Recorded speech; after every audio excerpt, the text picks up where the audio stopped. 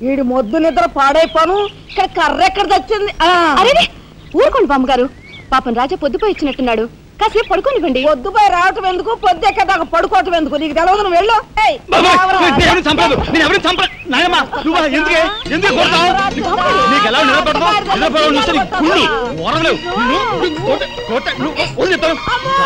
నిద్రపోనకుండా కొట్టు కొట్టి పైగా చేస్తుంటావు. నువ్వు చూడు చూడు ముసలి ఎలా కొడుతుందో చూడు. ఆగరా? నాయనమ్మా ఆగు ఆగు. ఏమిటే? చిన్నారితో నీకేమిటి? ఆ, నువ్వు నీ పెళ్ళం ఇట్ట గారాబం చేయబట్టే ఆడు సోంబేర్లా తయారయ్యాడు. సోంబేరి గింబేట. ఆగండి ఆగండి. మిట్ట మధ్యాహ్నం దాకా పడుకోవడం మూలంగా ఇంటికి ఉపయోగం దేశానికి ఉపయోగం తెలుసా? దేశానికి? అవును మరి. నాలాంటి వాళ్ళకి ఉద్యోగం రాకపోవడం వలన స్ట్రైకులు చేసి బస్సులో తగలబెడతామా అలాంటివి ఏమీ చేయకుండా యువతలు నిద్రపోవడం మూలంగా దేశానికి ఎంత ప్రశాంతత? ఏమిటినైనా లాభం. ఏమ్మా కానీ సంపాదన లేనోడు మూడు పూట్ల మిక్కితే ఇంటికి ఎంత ఖర్చు? అందుకే అర్ధరాత్రి వచ్చి మిట్ట మధ్యాహ్నం దాకా నిరపోతాను దాని మూలంగా రాత్రి భోజనం తెల్లారి కాఫీ టిఫిన్లు నీకు ఆదా కాదా? ఏనే ఇక పెద్దనయ్య అంటావా? వాడు మధ్యతరగతి మనిషి. బోడు బరువు బాధ్యతలు ఉంటాయి పది మందికి సమాధానం చెప్పుకోవాలి కాబట్టి పొద్దునే లేవాలి. ఇక సీతమ్మ లాంటి వదులంటావా అంటావా? ఇంటి చాకరీ బోర్డు అంత ఉంటుంది ఆవిడ పొద్దునే లేవాలి.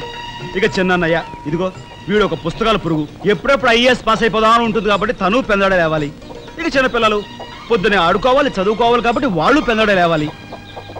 నువ్వు నేను ఎందుకే పెందడే లేవటం? నా మాట విని నాయనమ్మా. నువ్వు నాతో పాటు అర్ధరాత్రి వరకు గాలి తిరుగుడు తిరిగి ఇంటికి వచ్చి నిద్రపోయి లేటుగా లేచావనుకో ఇంటికి ఖర్చు తగ్గుద్ది నాకు నాకు నీ నస తగ్గుద్ది. ముదిరిపోయావురా. చిన్నబాబు నీళ్ళు తోడుతున్నా. ఎంత పొగర్రా నీకు? ఏ? ఉదయంతో చాకరీలు చేయించుకుంటావా? ఏంటి దొడాలి సబ్బెట్టాలి తోట మళ్ళీ రఫాడించేస్తానే అనుకున్నావు నువ్వు చేయాల్సిన పనులు వదంతో చేస్తావు నేను నిన్ను కేకలు పెడతావు అనుకుంటే నువ్వు ఎదురొస్తావా? అయినా ఈ వయసులో నువ్వు చేయాల్సిన పనులు ఏమిటి? ఏంటయ్యా? నాకు సేవలు చేసుకోవటం. ఏంటి? తాతయ్యకి ఎలాగో సేవలు చేయలేదు. నాకు సేవలు చేసుకో దేవుడు మెచ్చి నీకు స్వర్గ దూరాలు తెలుస్తాడు నిజమైన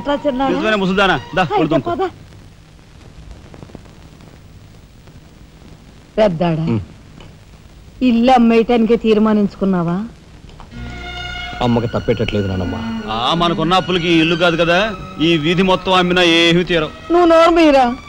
ఆడి మాటలకేం గాని? మీ తాతయ్య రెక్కలు బొక్కలు చేసుకుని ఇల్లు కట్టించాడురా.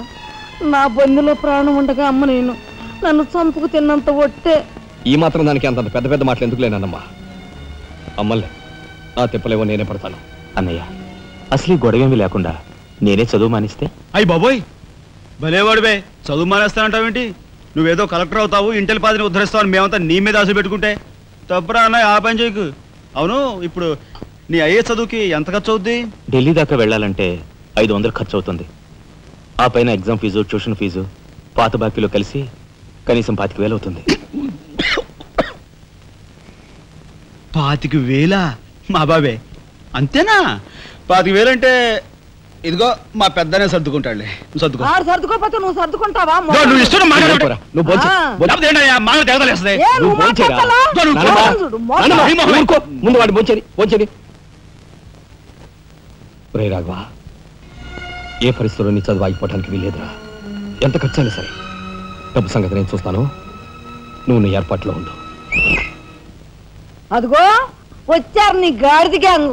పూసే గాడిద వచ్చి మేసే గాడిదని చెడగొట్టిందంట. మెయిటివ్ అయిందిగా ఇక లేచండు నాయనమ్మా సాయంత్రం వచ్చేసరికి మునక్కాయ కూరలో ఉప్పు చేపేసి ఉండి పెట్టవా? ఉప్పు చేప వండి పెడతా. ఎలా కొంటిదానా మీ తాత ఇట్టగా ఏడిపిస్తూ తినేవాడురా. ఈడు అన్ని ఆయన పోలికలే. ఏంటి ఈరోజు మన ప్రోగ్రామ్ ఏముందిరా షారా మామూలే ముందుగా ఉద్యోగాల వేట ఆ. తర్వాత అమ్యూజ్మెంట్ పార్క్ కొడుకుసే వాళ్ళకి ఇల్లు చేరుకోవటం. ఇంటి వదలకే నీ ఓటు. మన ఆడికి రాజకీయాలంటే ఇంట్రెస్ట్ లేదు కానీ అప్పట్లో మనందరం కలిసి ఇందు వదరా జిందాబాద్ అని ఉంటే ఈ పాటికి ఒక్కొక్కడికి పది ఉద్యోగులు ఉండేవి. ఇందు వదన జిందా బోలో స్వతంత్ర భారత్ కే బోలో స్వతంత్ర భారత్ కే